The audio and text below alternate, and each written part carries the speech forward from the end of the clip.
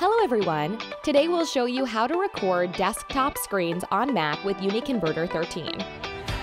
Step 1. Launch Wondershare UniConverter.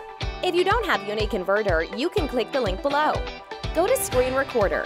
Tap the Screen Recorder icon to launch the Screen Recorder function. Step 2. Select the capture area and audio sources.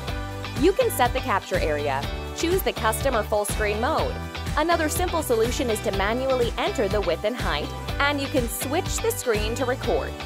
Step 3. Select the audio sources. You can select system audio and speaker. Step 4. Set the recording preferences.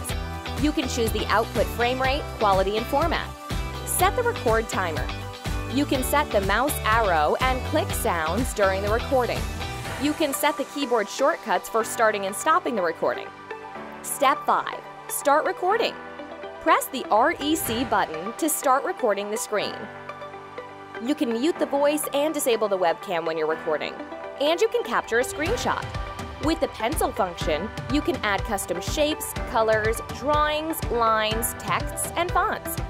Step 6. Stop recording and preview. Just press the stop to finish the recording session.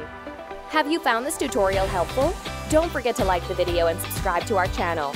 Click the link in the description to try Wondershare UniConverter for free, or comment to tell us what you'd like to know next.